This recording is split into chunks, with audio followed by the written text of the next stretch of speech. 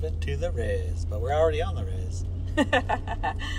Welcome to Driving to the Res with Larry and Inelia.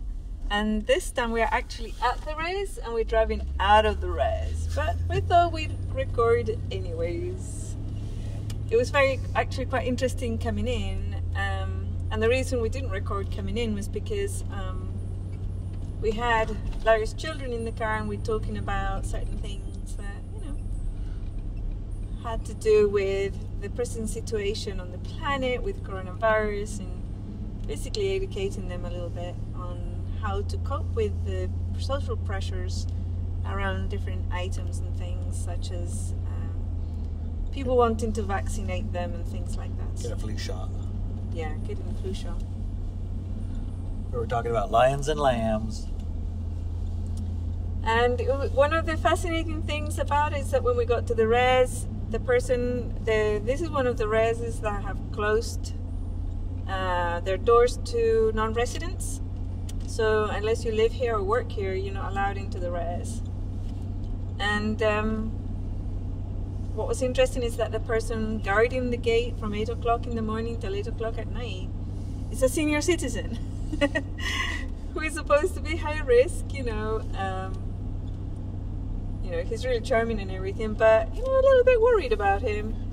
you know, he's supposed to be in home shelter and, you know, in a high risk um, demographic, and he's the person who talks to everybody on the road, comes up to, uh, right up to the car, and you know, so yeah, I thought that was a bit strange. We're gonna bring him a bit of a Milena's home cure. That is ginger, honey, lemon. Well, I put a little bit of chaga in it too, make a little bit of brown, and uh, we'll give him a jar of that. He can make tea every time he goes home. that's the thing that I wanted to make, and I bought all the ingredients, Yeah. and then you got the recipe from Milena. yep. So Your recipe, her recipe, it's like matched up. Today, when we were doing our um, brooms call, or it could have can been you a B and explain G what the brooms and the Could have been a B and G call. What is a B&G call? Might have been a bride and groom call. I'm not actually sure what our call was. The brides and grooms of Gaia. We had a call for Saturday. Talk about business stuff. We're getting a website put together and put up with a forum. And uh, we're going to do blog, and we're going to do a podcast, and we're going to do videos, and uh, you know, we're trying to get ourselves organized to get the the brides and grooms contract and vows out to the planet to anybody who's interested. Having a new paradigm, a new way of uh, organizing themselves around life. So we're coming up to the roads. Um, what's what is what is this called? A road Roadblock. roadblock, and it says um, big sign up there saying "Stay home." There's a virus in Clallam County. Yeah, we'll, doing? we'll see you Going tomorrow. through, Heading Yeah, we'll, creak, we'll see you tomorrow with your uh, home cure. Oh, okay. Just make well, tea I'll out of be it. all ready. Yep. Yeah. Don't give me bad breath. I'll. It'll be good, Brad. That's funny. Dan. There's Dan. He's got a house at the Hoko too. Yep.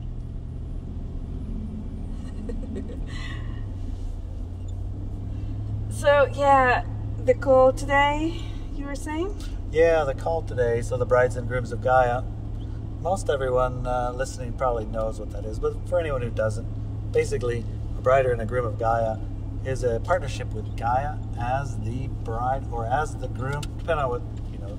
We talked about in, yeah, like we talked about in the previous episode. Right. So you make your choices and your decisions, taking Gaia into consideration, and as a as a partner in the decision. And Gaia wants to host a high frequency reality. Uh, Well, she is going to host a high frequency paradigm, and so as brides and grooms, we join her in that intent. And we do it in a um, ceremonial, in a very factual, and a very contractual basis, in a way that's well defined. because oftentimes we found the people side of the uh, arrangement. Yeah, that's the one that needs to work. Yeah, yeah, absolutely, yeah.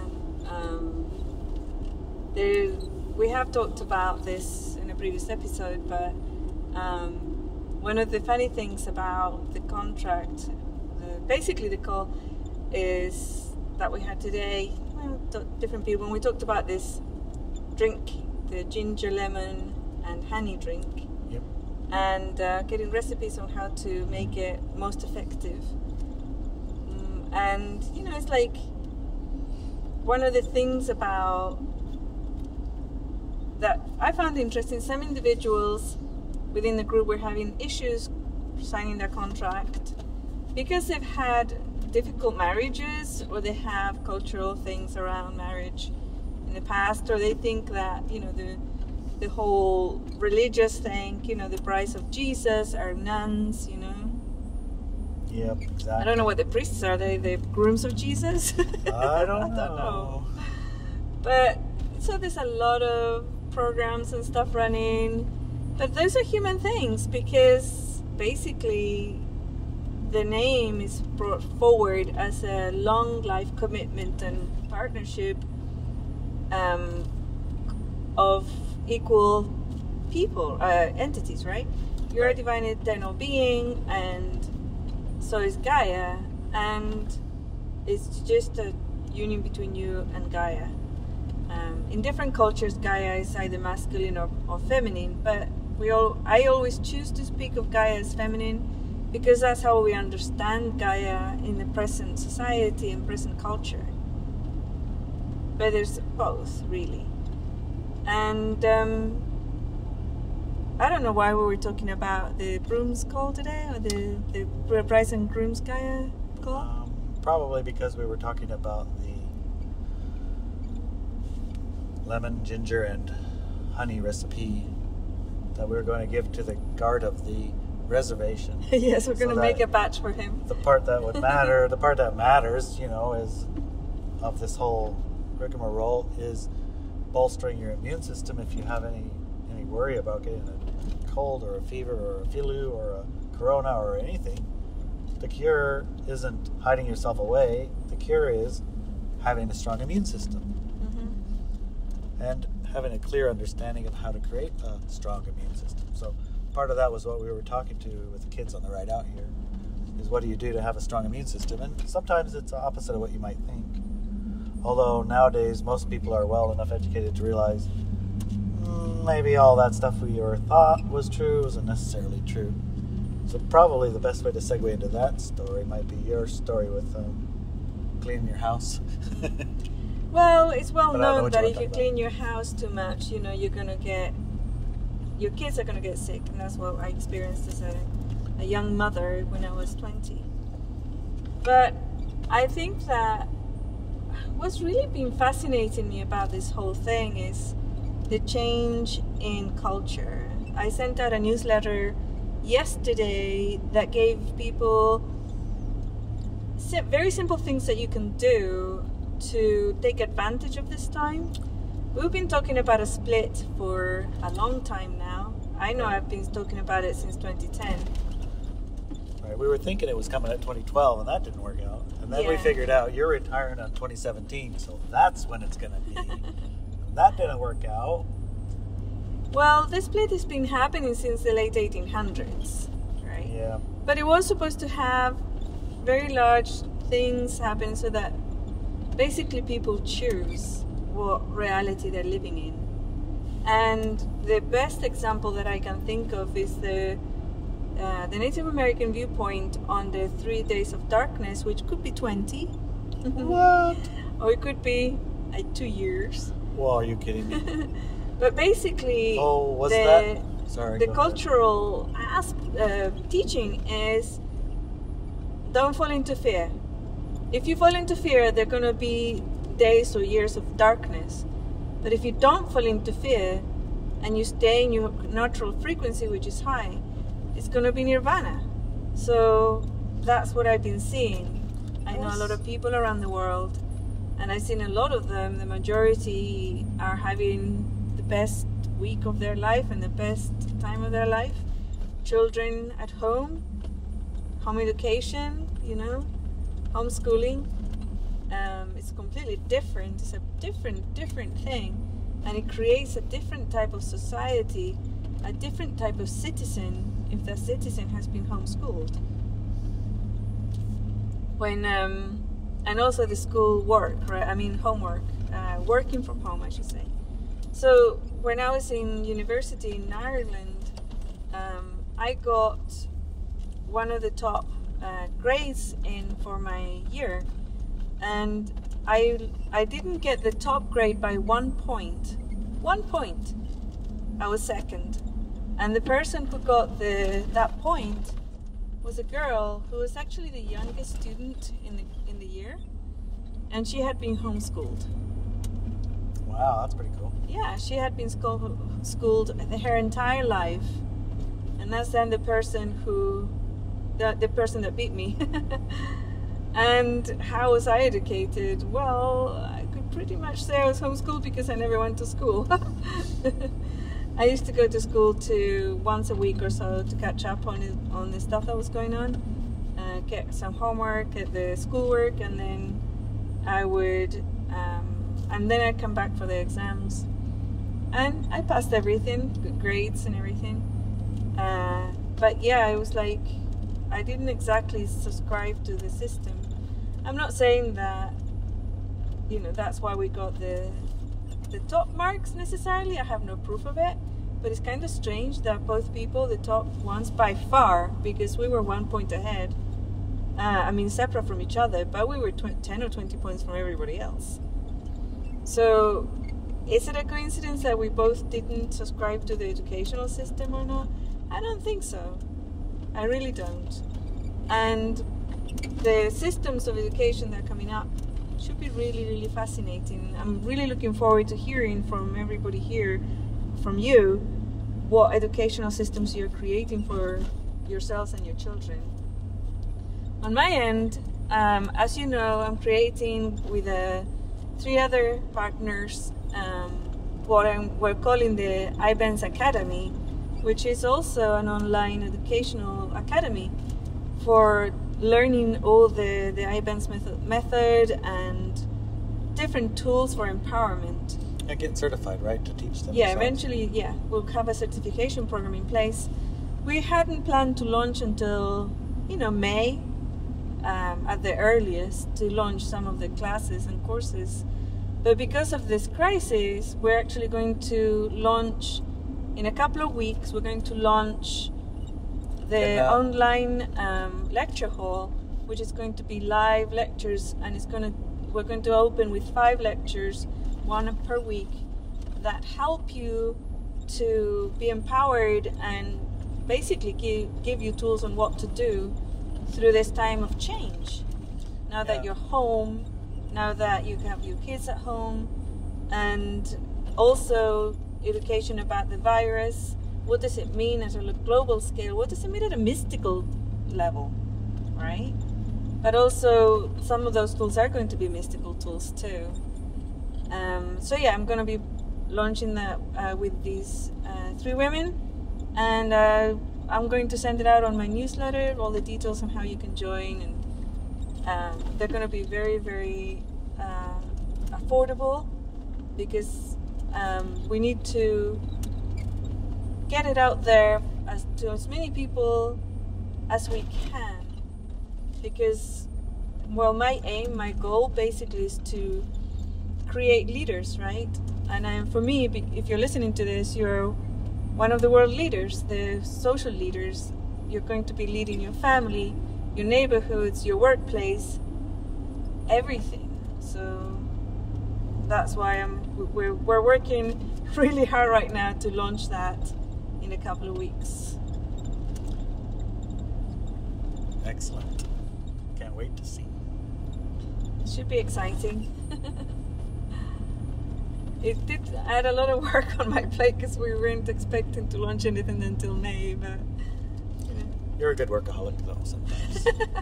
we're all very good workaholics in the company, so yeah, we've got it covered. but yeah, it's like the, the restructuring of society that's really exciting to me. What about you? yeah, I find myself having a hard time, you know, calling it a crisis or a quarantine and all that other stuff because it's like so much. I mean, I understand. I see at least that there are some people who are having a horrible time with this. But, jeez, I mean, it couldn't be better, honestly.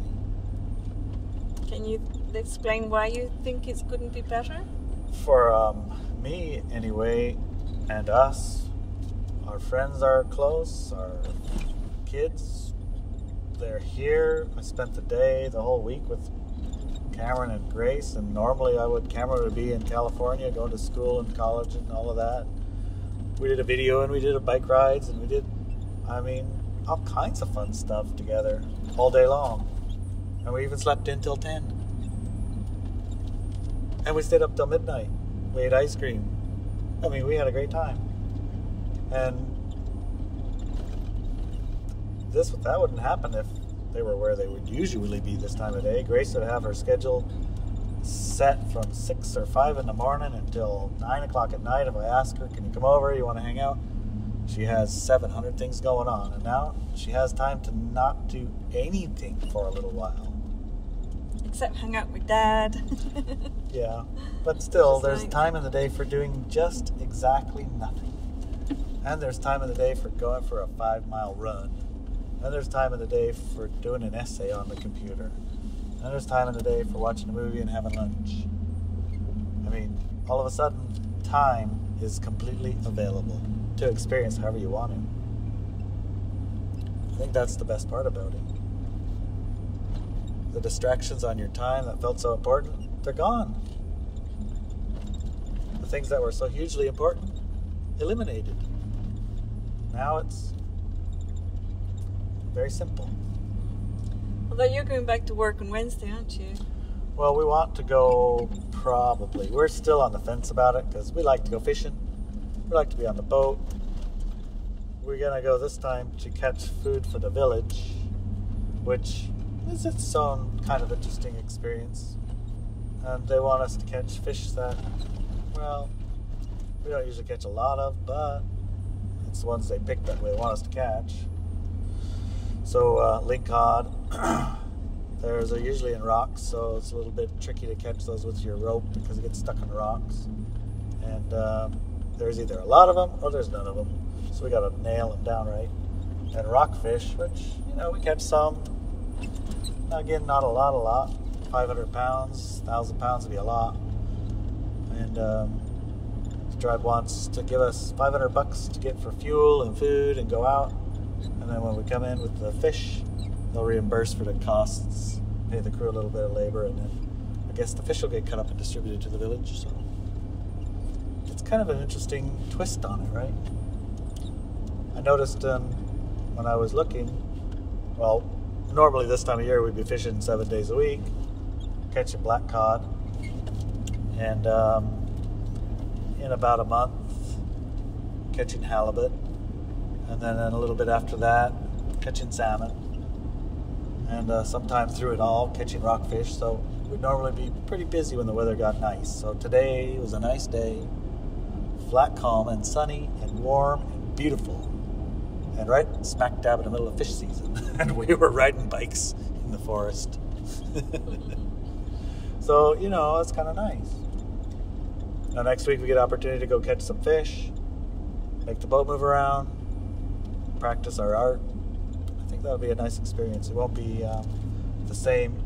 We're gonna make ten thousand dollars in three days, and it's all about money. This is all got a lot of different purposes. We're gonna get some money, enough to cover the bills, the expenses, and we're gonna feed our village of people, which is pretty dang cool. That feels good, right? Yeah, that feels good. That's Now all we have to do is make our village of people a little bit bigger because we have the capacity to have a lot more food come out. Connection, food to people, yep. not connection, food to money. It's food, or not connection, fish to money. It's fish to people. Yeah, I was just hoping that we could have had a, some sort of system where we can actually send the fish to everybody that needs it. But we don't have a freezer, so can't really send it. Yeah, it's bizarre part too because it's not like people stop eating. But all of the market for fish is gone, eliminated Yeah, zero. It's really bizarre. It's really, so really crazy. And I think I guess it's because um, the companies that process the fish, they don't have the people to bring in to do the processing because they don't have like groups of people together. And the people that they sell the fish to are usually people like at restaurants, and the restaurants are hampered in some ways. And grocery stores, still, I don't know. I don't know why they wouldn't want to be buying fish. But our market is zero. If we catch it, there's no one to, no one to buy it. I was reading about tuna boats that had gone out fishing for tuna sometime in the middle of February before anything happened. They were out for a month. They came in with a full load of fish. No idea anything happened while they were gone. And all of a sudden, there's no place and no one to buy their fish. Yeah, it's really bizarre. So they're stuck with a boat full of fish and no one to buy it. Uh, they're trying to sell them off the boat one at a time, but you know that process is uh, significantly a lot different than unloading them all to a wholesaler and having them sell fish. It is Right, right. fish to individual person. hmm And in uh, Europe, it's the same story. It's like planet wide. All of a sudden, all the boats that go catch fish are all tied up because nobody will buy the fish. What happened? Everybody all of a sudden stopped eating? Not really. So what did happen? What happened? You see that strange Yeah. Irish co-op of 70 boats tied up the entire fleet of boats because nobody will buy the fish. No one will come to the auction, or I don't know what it is. The one boat went out, left the dock. The price for the fish he was catching, some kind of a hake or uh, I don't know what it was, something like that, was four dollars or four fifty, four pounds fifty pence. Uh, You know, I don't know that word very good, but yeah. four four and a half pounds when they left the dock, and then when they came back, all this stuff had happened. They were only gone for five or six days. When they came back, that same fish was only worth forty-one cents a pound. What? Oh four fifty gosh. to forty-one cents. I probably won't even pay their bills. No, because they have to pay the owner of the quota fifty cents a pound Right. just to fish. So they owed the owner of the quota nine oh cents Oh my gosh. plus the fuel plus everything else. So yeah, Yeah. I mean that's a That's topsy turvy world. It is. Aren't fish and chip shops in England usually to go anyways? What's the difference? don't know. Yeah. All of a sudden nobody away- wants to eat fish? It just doesn't make any sense to me. That's So- when it comes in the build new structures. You know, this is that's this is what I'm talking about. Stop relying on the old structures; they've stopped. So you need to start building new structures. How do you get the fish to the people, right, around the planet? How do you do that? Maybe we can get some ideas in the comment section. That'd be good. I think I've read a few, a few, a few people have been trying to go direct to people with their apps. And about ten years ago, I thought of the idea of having an app. People could um, log into the app while we're out fishing, see what we're catching. If they want to have some of that fish when we come in, put their name in the hat. Then when we get in, everyone that's got their name in a hat, send them to fish. And of course, it's on an app, so they just pay on the app. Our job is to catch it and ship it. Their job is to look at it and say, I want that, and buy it. So how come that didn't work out for you? Well, back then I was drinking. You were drunk. Yeah. So I did that instead. Oh, okay. How about now? Would you do that now? You're sober now. Yeah, I'm- I'm not drinking now. I could do that now, but at the same time, the things that seem important to me have more to do with uh, promoting and expanding people's awareness by and through supporting the things that you do. So, trying to create a new business that distracts me from supporting what you want to do and what you need to do, what you're here to do for the planet, it's just harder to engage in. It's just less interesting. So I'd be happy to catch fish for somebody else if they want to write an app and get a and do it once in a while and not have it as the primary job. And get a freezer. Sure, get a freezer, pack it up, ship it out. Well, get other people to do that that want to do that. No, I said get somebody else to get the freezer, pack it up, and yep. send it. You can give it to them, and they can They do can that do part. that part right? because that's what they probably really, really want to do. I want to make sure. I want to make sure the return to the Earth files is written. in. I want to make sure the course that eliminates or at least greatly diminishes the veil of forgetfulness for whatever period of time it is. That course gets done. I want to see the IBenz Academy happening. I want to see Brides and Grooms page and forum and blog and uh, podcast and video, YouTube, whatever that is. I want to see that happening. So we're gonna Yeah. take a little break Oh yeah. because we're gonna drop off some medicine to somebody who's not feeling very well on the way home. All right, we'll talk to you in a few seconds because for you there won't be no break. we'll just be back. And we're back.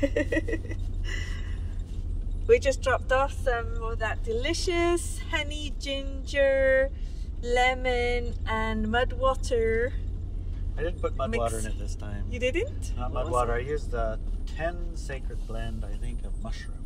Oh, the 10 mushroom blend. Okay. It might have been the 7 mushroom blend. Seven mushroom blend? Whatever it has chaga in it, it has cordyceps or something, and it has lion's manes or something else. in it. Yeah. bunch of good mushrooms. You need a little bit of mushrooms. Yeah. Yeah, so fascinating. Um, we have like different energies and people in our communities that we belong to. Uh, some of them, like you saw or heard, you know, the person who's uh, guarding the res, he's um, a senior citizen and he was fairly enthusiastic and happy doing his job. And we're going to bring him some of that medicine tomorrow.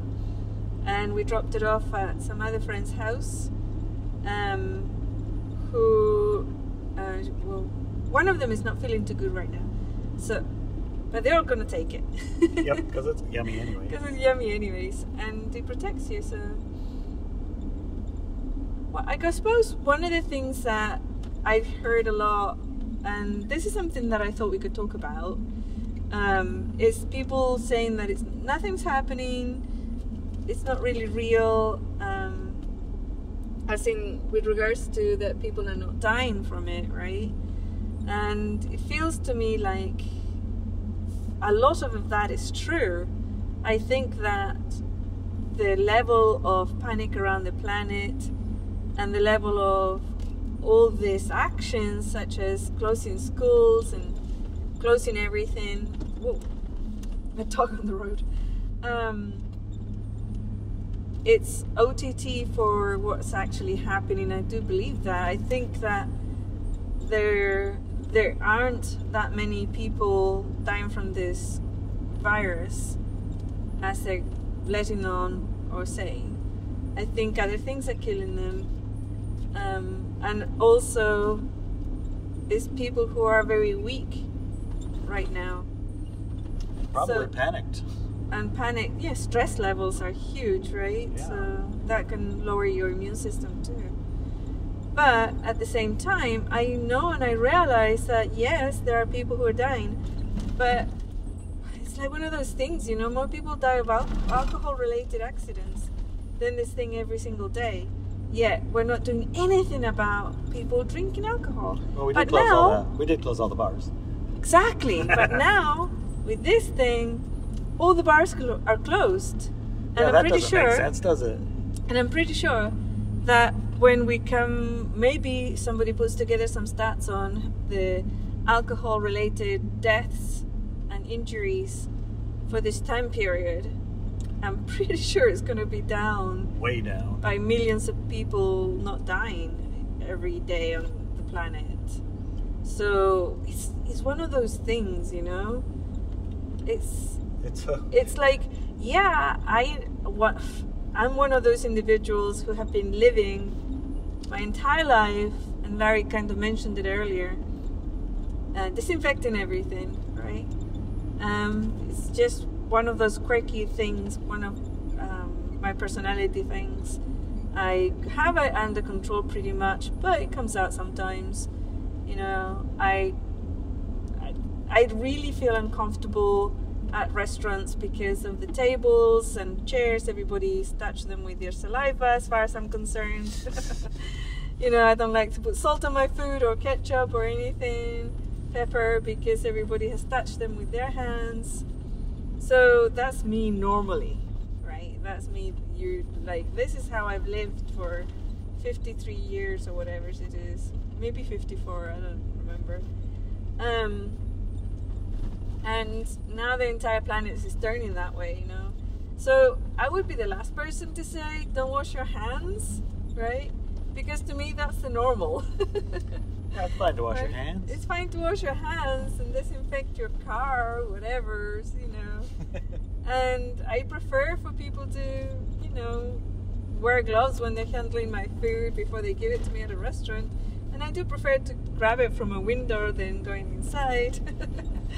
So ideal world for you. Exactly. So for me, and also I've been telling people, you know, school system. The school system creates slaves. So I'm super fascinated and interesting, interested in finding out how this will resolve. What kind of citizens we're going to be creating as we homeschool them.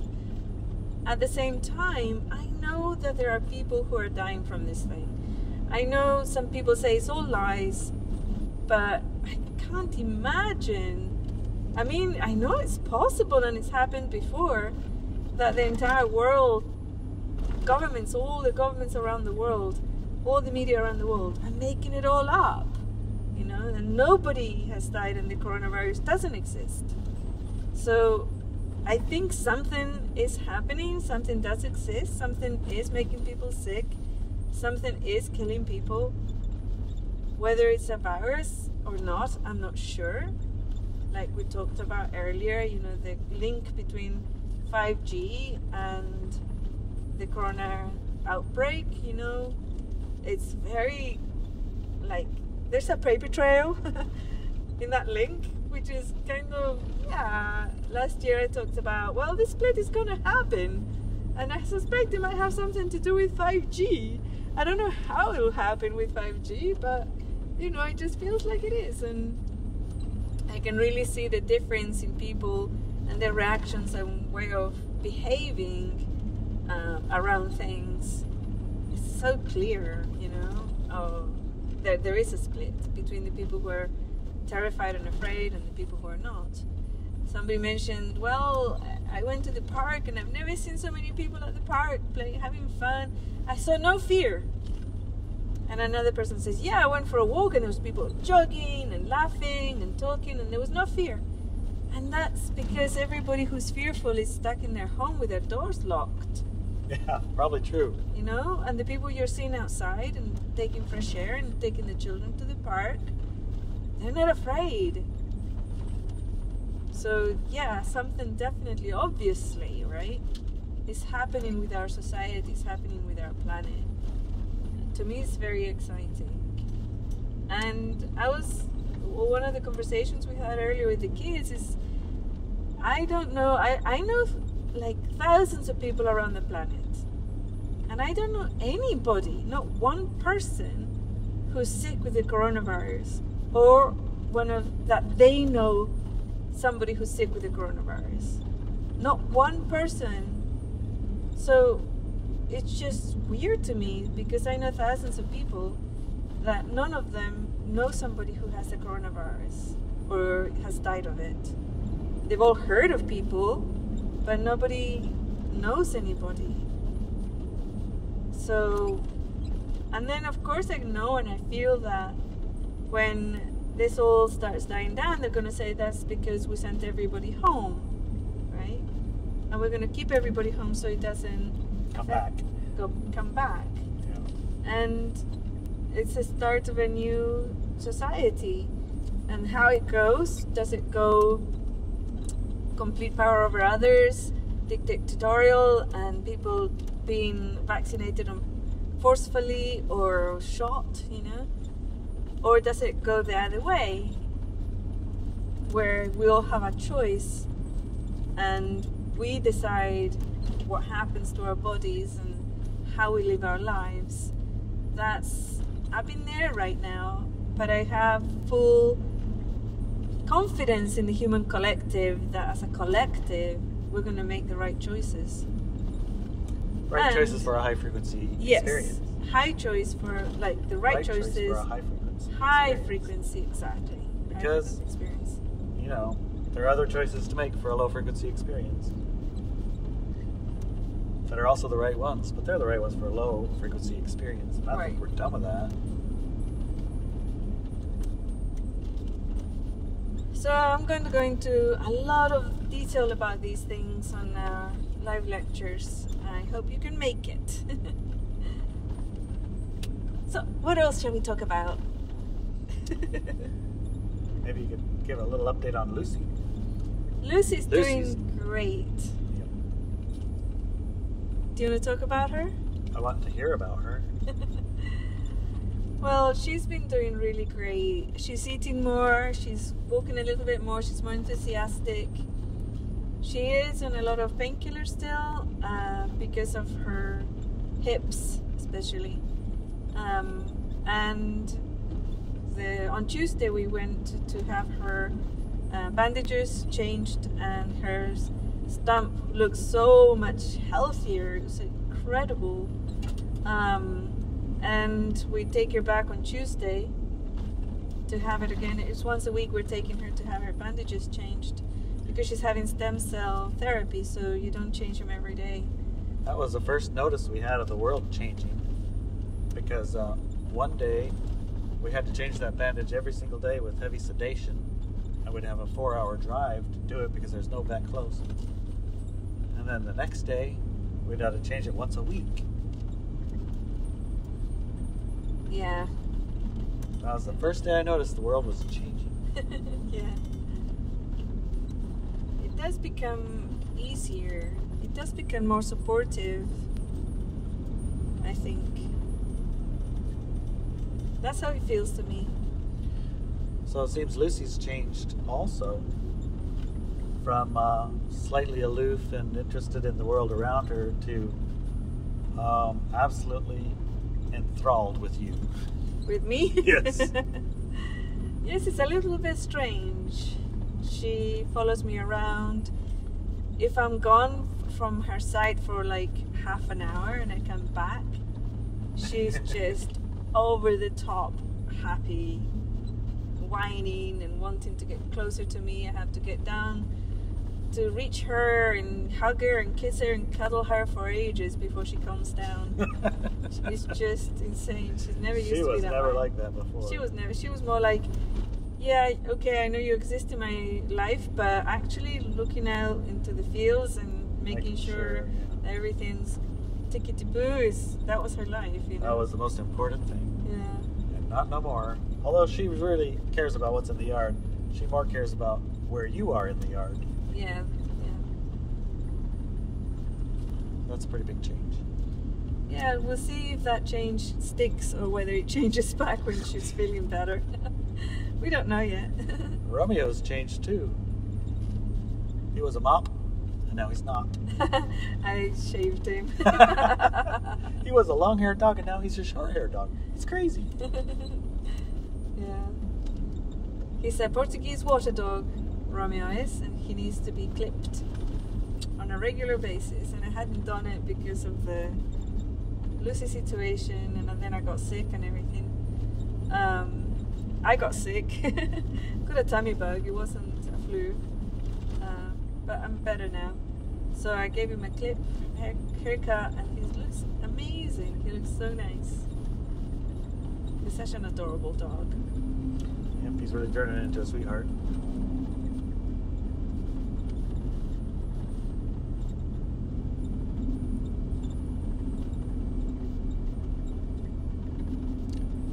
Well, I think we're about done.